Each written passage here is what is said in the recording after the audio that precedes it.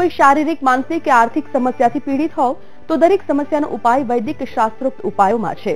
તો ચલો જ્યોતિષ દ્રષ્ટિકોણથી આપની સમસ્યાને સમજીએ અને વૈદિક શાસ્ત્રોક્ત ઉપાય સંસ્કૃત આચાર્ય વિનોદ પંડ્યા પાસેથી જાણીએ. નમસ્તે સૌ દર્શક મિત્રોને, જય દ્વારિકાધીશ, જય રણછોડ, જય કાળિયા ઠાકર, જય ચામુંડા, જય માતાજી. સર્વ દેવોને, સર્વ સંપ્રદાયોને પ્રણામ. તમારા ઘરમાં રહેલા દેવોને પ્રણામ. હૃદયમાં ધબકી રહેલા દેવોને પ્રણામ.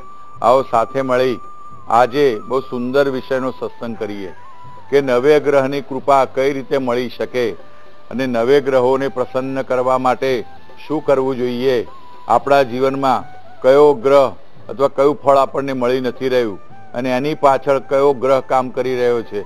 આપણી એવી કઈ ક્રિયા છે કે એનાથી એ ગ્રહ આપણા પ્રસન્ન નથી? તો આજે નવે નવ ગ્રહને પ્રસન્ન કરવા માટે હું તમને શાસ્ત્રીય ઉપાય બતાવીશ કે જે કરવાથી જરૂર એ ગ્રહોની કૃપા પ્રાપ્ત થાય છે. સૌ વાત કરીએ સૂર્યની. તો સૂર્ય એ આત્માનો કારક છે. જો આત્મબળ ઘટી જતું હોય કોન્ફિડન્સ જતો રહેતો હોય, ગભરાઈ જવાતું હોય, તો તમારે સૂર્યને પ્રબળ બનાવવો પડે. સૂર્ય પિતાનો કારક છે. એટલે પિતાની સેવા કરવી જોઈએ. તન, મન, ધનથી જો પિતાની સેવા થાય, તો સૂર્ય એની ઉપર પ્રસન્ન થાય છે. બને તો આદિત્ય હૃદયમ છે, ગાયત્રીના જપ છે, આ આ રીતે વડીલો છે, એની સેવા કરવાથી પણ સૂર્ય પ્રસન્ન થાય છે. વાત કરીએ ચંદ્રની, બહુ મન કન્ફ્યુઝ થતું હોય, રાત્રે ઊંઘ ના આવતી હોય નેગેટિવ વિચારો આવતા હોય, વધારે પડતો ક્રોધ આવતો હોય, તો તમારે સમજી લેવું કે તમારી કોઈ ક્રિયા એવી છે કે જેનાથી ચંદ્રનું ફળ તમને મળીને નથી રહ્યું. ને ચંદ્ર કોનો કારક છે? માતાનો. જન્મ આપનારી માતા. દાદીમાં હોય, માતા હોય, એની તન મન ધનથી સેવા કરવી જોઈએ.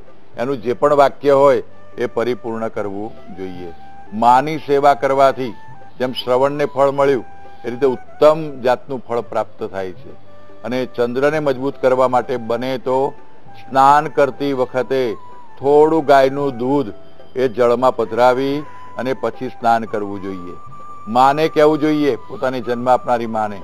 કે માં કોઈ પણ ચાંદીની વસ્તુ તું મને ભેટમાં આપ, તો જન્મ આપનારી માના હાથે ચાંદીની વસ્તુ ભેટમાં લઈ એનો દાગીનો બનાવી અને શરીર ઉપર ધારણ કરવાથી ચંદ્ર પ્રસન્ન થાય છે.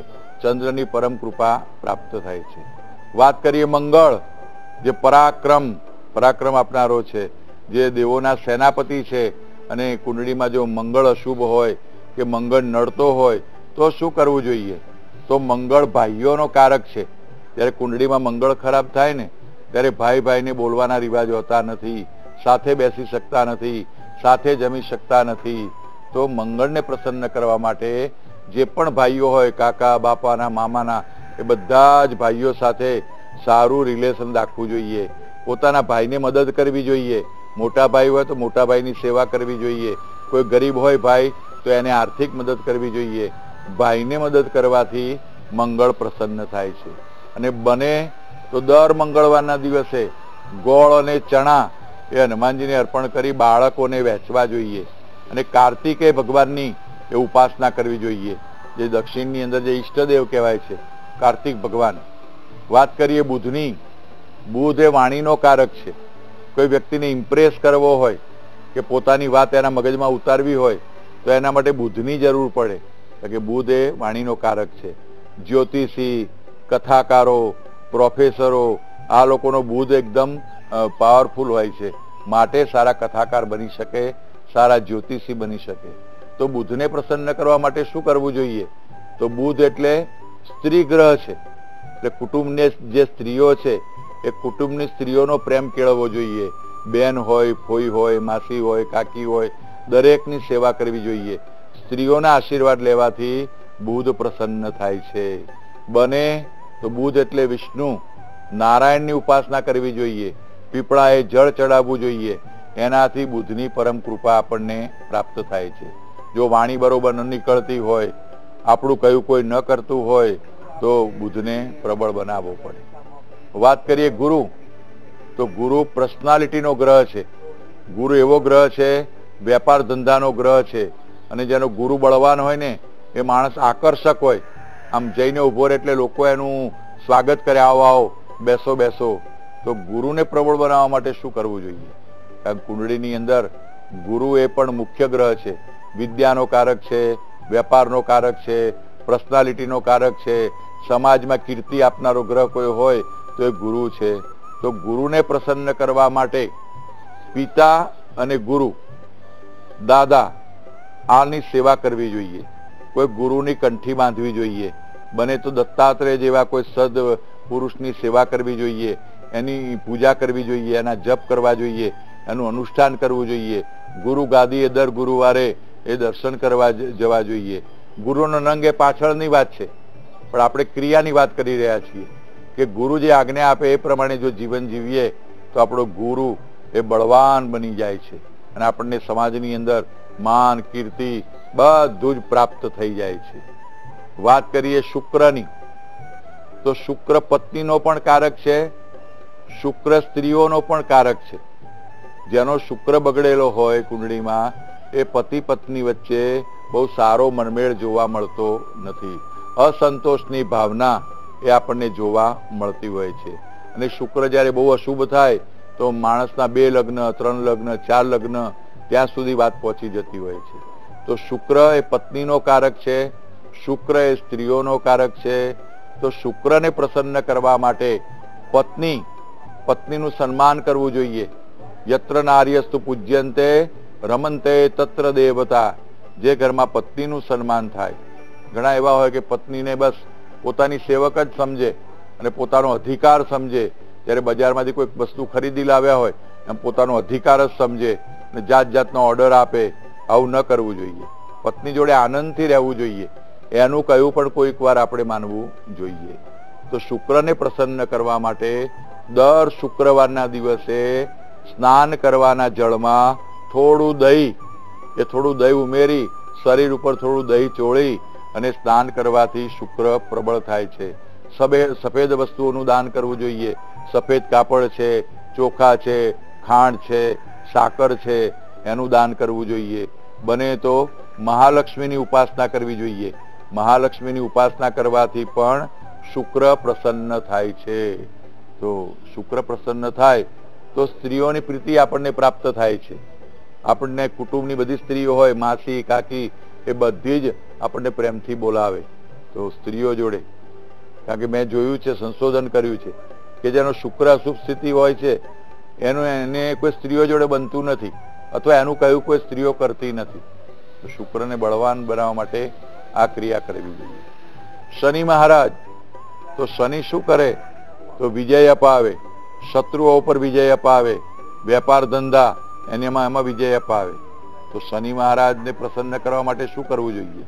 જેમ કે શનિ અશુભ સ્થિતિમાં છે કુંડળીમાં, તો વારંવાર વિઘ્નો આવવા, કોઈ કામ સારી રીતે ન પૂરું પાડવું અને છે કિનારે આવ્યું હોય અને વહાણ અટકી જવું, ને જ્યારે શનિની પનોતી ચાલતી હોય, ત્યારે વાગવાના, પડવાના, એક્સિડન્ટના વારંવાર યોગ બને. આ મહિને કંઈક વાગ્યું, તો આવતા મહિને પણ કંઈક વાગે, પાછો એક્સિડન્ટ થાય. તો આમાંથી બચવા માટે શનિ મહારાજને પ્રસન્ન કરવા માટે બને તો અડદની દાળ છે, કાળા વસ્ત્રો છે, લોખંડની વસ્તુઓ છે. એ લોખંડની વસ્તુઓનું દાન કરવું જોઈએ. બને તો શનિ મહારાજને ચમેલીનું તેલ એ અર્પણ કરવું જોઈએ.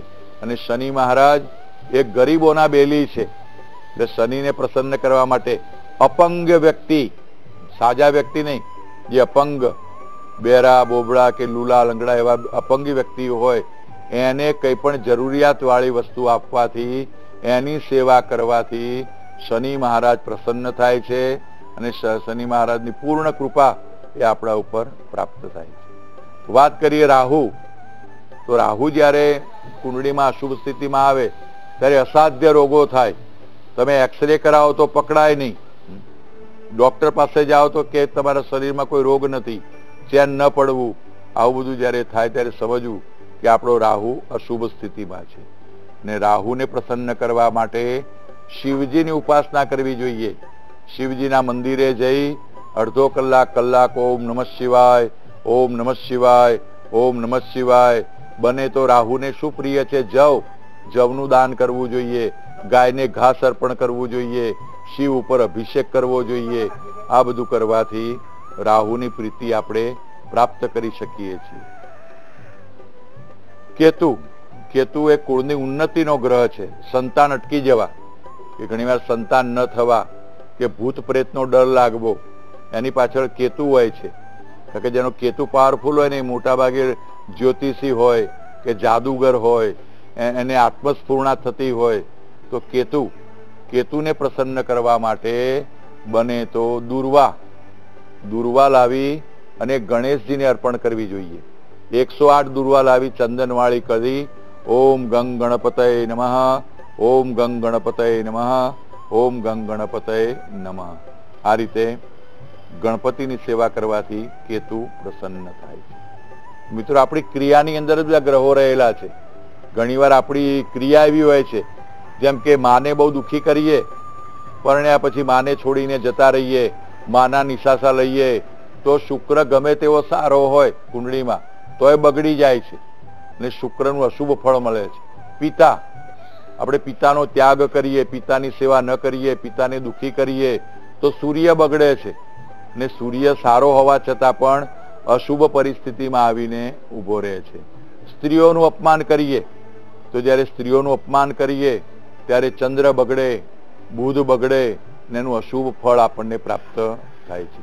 ઘણીવાર આપણી ક્રિયા થકી એ ગ્રહોનું અશુભ ફળ આપણને પ્રાપ્ત થાય છે. ગુરુનો દોષ, કોઈ સત્પુરુષનો દોષ, સાધુ સંતોનો દોષ કરીએ, કોઈ સાધુ સંતોને તાડન કરીએ, અશ અપશબ્દો બોલીએ ત્યારે સમજવું બૃહસ્પતિ આપણી પર કોપા, કોપિત થશે અને બૃહસ્પતિનું અશુભ ફળ પ્રાપ્ત થાય છે. તો મિત્રો, મંત્ર તો કરવાના જ છે. એને લગતું દાન કરવાનું છે. જેમ સૂર્યને પ્રસન્ન કરવા માટે ઘઉં ગોળનું દાન કરો, ચંદ્રને પ્રસન્ન કરવા માટે સફેદ વસ્તુઓનું દાન કરો, મંગળને પ્રસન્ન કરવા માટે ગોળ ચણાનું દાન કરો, બુધને પ્રસન્ન કરવા માટે મગ કે અડદની દાળનું તમે દાન કરો ગુરુને પ્રસન્ન કરવા માટે પીળી વસ્તુ છે ચણાની દાળ છે, એનું દાન કરો. શુક્રને પ્રસન્ન કરવા માટે સફેદ વસ્તુનું દાન કરો. શનિને પ્રસન્ન કરવા માટે અડદની દાળ છે. ત્યાર પછી ગરીબ લોકોને તમે જમાડો. તો દરેક એ બધી વસ્તુઓ તો લખેલી છે. છતાં પણ આપણી ક્રિયા એવી હોવી જોઈએ કે ક્રિયા થકી એ ગ્રહ આપણી ઉપર કૃપા કરે. જેમ તમે ખૂબ દિલથી જન્મ આપનારી માની સેવા કરો, માનું દરેક વાક્ય માનો તો મને નથી લાગતું કે તમારી જન્મકુંડળીમાં ચંદ્ર બગડે કે બુધ કે શુક્રની અવકૃપા તમને પ્રાપ્ત થાય. માના આશીર્વાદ થકી એ ગ્રહો સારું ફળ આપતા થઈ જાય છે. તો દર્શક મિત્રો, મંત્રો તો કરવાના છે, દાન કરવાનું છે, એની સાથે સાથે આપણી જે ક્રિયા છે, એ ક્રિયા થકી પણ ગ્રહોની કૃપા અને અવકૃપા એ જીવનમાં પ્રાપ્ત થતી હોય છે. આવતીકાલે પણ પાછો સુંદર વિષય છે. ચિંતનીય વિષય છે અને જીવન સાથે જોડાયેલો વિષય છે. તો આવતીકાલે પણ જોવાનું ચૂકશો નહીં. ત્યાં સુધી મને આપો રજા. સૌ દર્શક મિત્રોને જય દ્વારિકાધીશ, જય રણછોડ, જય કાળિયા ઠાકર, જય ચામુંડા, જય માતાજી. સર્વદેવોને સર્વ સંપ્રદાયોને પ્રણામ. તો જ્ઞાન ભક્તિમાં અત્યારે બસ આટલું જ. આવતીકાલે ફરીથી કોઈ નવા જ વિષય સાથે નવા આસ્થાના વિષય સાથે મળીશું ત્યાં સુધી મને આપશો રજા નમસ્કાર